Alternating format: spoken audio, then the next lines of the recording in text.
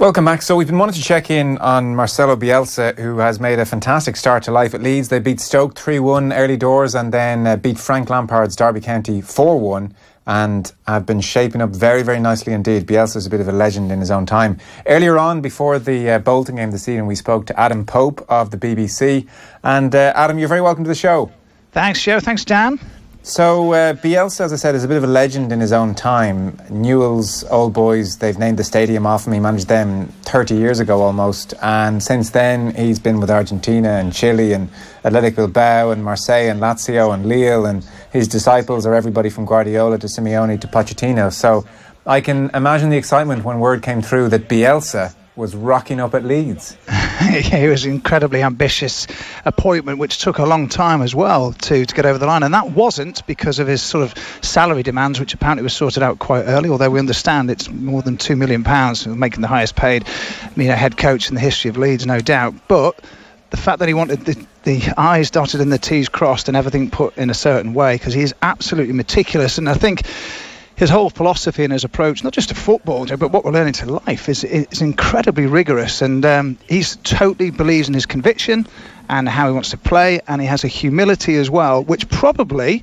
betrays all those sort of achievements and that sort of world renown that he has. You expect him to be a little bit more brash, brash if you like, but but not at all. Very humble man, very cerebral, very intelligent, and is obviously in the early part of this season um, is getting his message across despite not being able to speak uh, English. Ah, well, you bring us on to that. So, I mean, one of the great interviews already of the season has arrived. I mean, it was just fantastic stuff here. We've got we've got a quick clip for people. This was Bielsa being interviewed after the uh, win against Stoke. Keith Andrews, uh, obviously involved with Sky, is a regular in the show here. He said it was quite difficult for Sky to even convince Bielsa to do this interview. I mean, this was painstaking work to get him to come out in front of the cameras. And when he came out, boy, did he give him everything. Marcelo, what are you expecting from your first game in English football? Eh, espero, estoy ilusionado y eh, deseoso de, de que esto comience. I am very excited and I'm happy to be here. I am very happy uh, that this begin.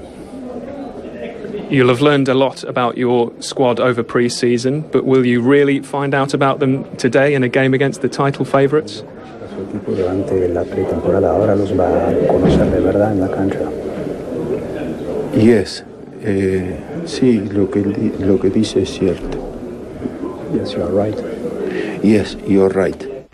Adam, I think we're all looking forward to your signature 45 minute sit down with Bielsa sometime soon.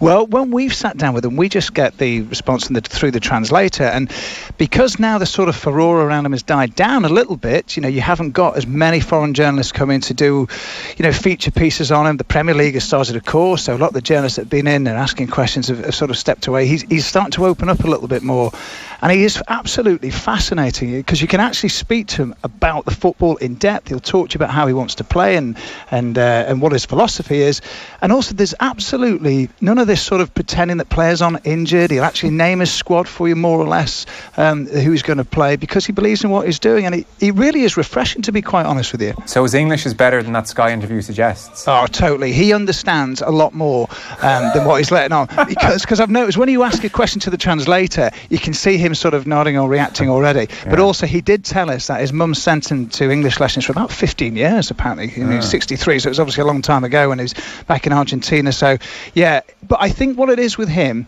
is that he wants his message to be absolutely clear. He's very precise and he doesn't want to dilute it or mess it up by getting the English wrong, if you see what I mean. So Yeah. that's why he relies heavily on the translator.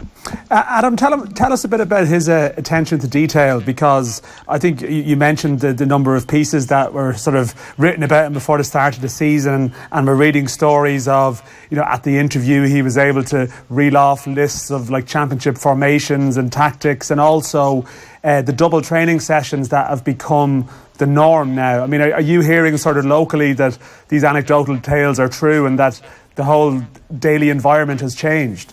Absolutely, and I think just to show you Uh, his attention to detail would be that he wanted certain changes making at the training ground, um, and also when he went up to the training ground, he was literally a bit, bit, bit old schoolish, you'd say, a bit like uh, your mother-in-law might have done at one point. Would be to run their finger with a glove across surfaces to see if there's any dirt there. You know, so um, that's the sort of attention he's going to.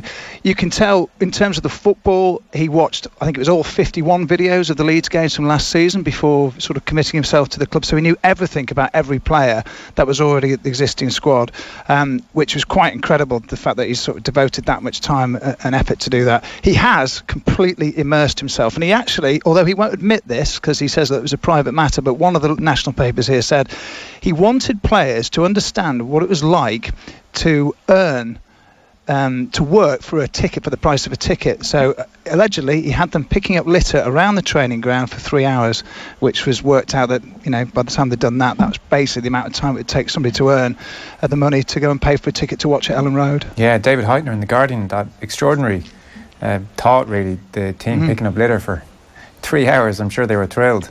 So.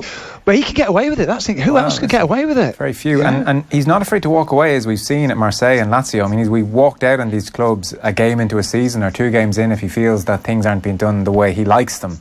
So, a very, very good start. The Stoke game 3 1, a 4 1 win away to Derby. Keith Andrews, who I mentioned, was in here talking after the Stoke game, and he was at it and mm. said the football was everything he could have hoped for from a Bielsa team the movement, the passing, the pressing. Uh, you say it was extraordinarily good.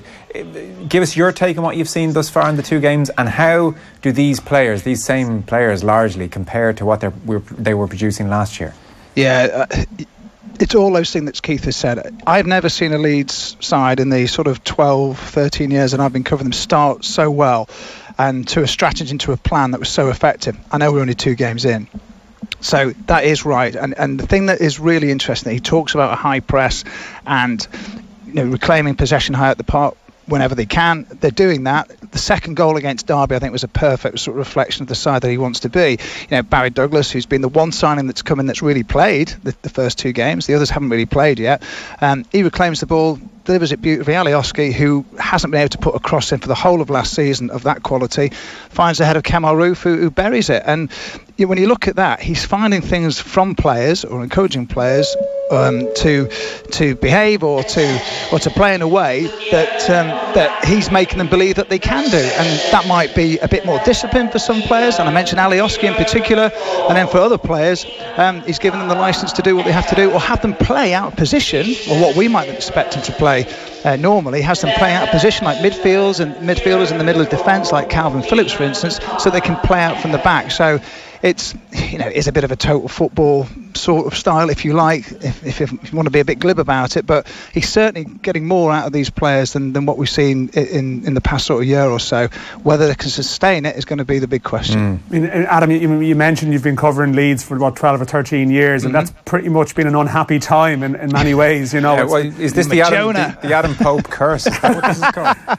Yeah picked him up in the championship took him to League One for the first time in their, in their history. Yeah, yeah listen I, I can relate to that having started covering the Irish team around 12 13 years ago so yeah but, but but what I would say is though like, it has been obviously a draining time and you had the Cellino era and yeah. um, the associated sort of controversy what has this done for the mood around the city around the club the general sort of atmosphere around the place well, let's have a look at an example for tonight. You know, they're playing Bolton Wanderers in the you know, Carabao Cup, the first round. Normally, these are you know weekly attended uh, games, they thought they'd get 15,000. They're already talking about 20, 21,000 and encouraging people to come down here, you know, to, to get the tickets early ahead of the game. So it's creating that vibe. There is a massive buzz, and I think the biggest thing is a lot of people, like you, like you're saying, we've all seen this before. Good start, say it seems to be built certainly on a plan and on a strategy that's effective and has been working over the summer and has, you know, from the off has, has worked straight away in terms of the championship.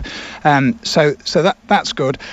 So what it's done is you've got this sort of seasoned fans that have been here for many, many years, you know, 10, 20, 30, 40 years, seen it all through the great times and the difficult times. They're saying, we've never seen a start like this to the season. And when they're believing and they're the most sceptical of fans, then you know that maybe something could be beginning to happen. However, he has totally dismissed the idea that they should be named favourites for promotion after just two games. Mm. He hmm. says whoever's asking that question doesn't believe it either.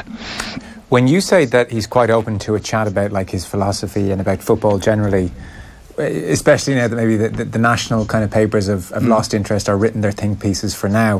When you're chatting to him, how open is he? What does he say about the game? Are there any kind of anecdotes that give you a feel for him as a person to work with? Yeah, there is. We're sort of getting to know him a bit, and he's sort of injecting a bit of humour into it. Look, what he says about the way it's the game is played, he says, "Look, I will not alter my s- style of play, and that is a high press, if you like. You know, lots of movement, win the ball back high up the pitch." Um, and that's if that's in the simplest one. That's how it is. He will yeah. not change uh, his philosophy. But then he will talk about individual players. If you say, look, you know, there's a new lad, Jamie Shackleton, who's just made his debut at the weekend or start tonight, and he, for example, they will talk about him and exactly what he brings to the party. You know, they'll talk about him at length about you know his dynamism or what he's able to do on the ball, what balance he brings to the game, you know, his passing abilities and stuff. So he's not afraid to go into into real detail because he's got conviction in what he's doing. So I think as the season goes on um, he will talk more and more. For example, captaincy. Liam Cooper has the captaincy this season.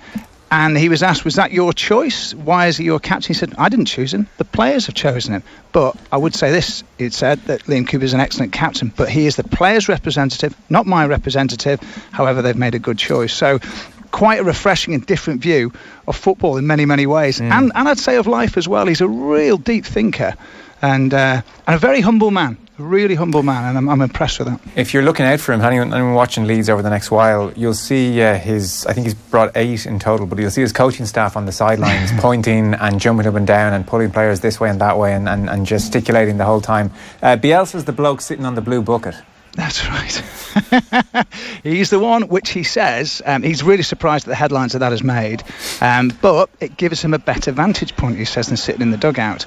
Um, and we've seen it you know, it's become something of a well. I think it's going to be something of a, a retail hit in the club shop here at Elland Road. I would have thought before too long, but uh, sorry, that's they're, why they're, they're now it. selling blue buckets in the merchandise they, shop, or, or, they will be doing. They have said the. I know the Angus Kinnear, the, the MD, said, look, no, this this will definitely be happening. So uh, just went to see which sponsor puts his name on it as well. What, so what's uh, a fair price for a blue bucket these days? A Bielsa uh, bucket? I tell you what, it will be priceless if they go all the way this season, wouldn't it? But uh, 1999 yeah. for a bucket. but incredible. Um, yeah yeah, so he has his own he has his own ways, his own intricacies, if you like, and his and his quirks. But his uh, yeah, you're right about his staff, and he has plenty of them. They um, they seem to uh, run run a little bit in fear of him. And then one of them, of course, you will have seen for that first game of the season was actually in the opposite stand um, to where he was in the dugout shouting out instructions, which is totally within the uh, the laws of the game, mm. to uh, to the players that at that point were on the left side of the pitch. So uh, Barry Douglas and uh, and Gianni Alioski. So yeah, he's he's unconventional. It's definite. That's that's that's a definite. Yeah. Okay. Look, exciting times to come. And nine games in last season, Leeds were top and then fell away. So I, I guess the hope is that Bielsa sustains this, and, and all the running stats are off the charts at the moment. So we have to see if that's sustainable yeah. as well. But I mean, geez, the thought of Bielsa with Leeds back in the Premier League, that is a tasty one. It is a tasty one, and you say we are, and you make that. That's the perfect point. Nine games in last year, they were, you know, unbeaten, going really well. They went to Millwall. We sort of warned the head coach at the time, Thomas Christiansen, look, this is a different game, and they go, no, it'll be all right, it'll be all right. We know what to expect. We've all played in front of big crowds. It says, no, it's not the big crowd. It's just that it's Millwall, and, and at that point they got found out. Hopefully, the players that he's now got, who've had that year's experience of the championship under their under their belt, will actually be better equipped to deal with those sorts of situations. But you've got to say this: he's beaten two squads that are, you would say, amongst the favourites, or certainly Stoke, to be right up there at the end of the season. Yeah. Last year they beat weak teams that, that either went down or, or were struggling. Okay, great. We must check them out. We'll um, we'll certainly be watching the next time they're on the box. And the people of Yorkshire praying that the Adam Pope BBC curse is finally lifted by Bielsa. It's ex- exciting times. Thank you. It's it's, it's good. I'm, I'm really enjoying it. And uh, you know, another, um, yeah, uh, it's about time they got out of this division. There's no mm. doubt. Is it going to be this season? At the beginning of it, I wouldn't have expected it. So, so I'm not saying nothing, guys. Okay. Thanks, Adam. Cheers. Cheers.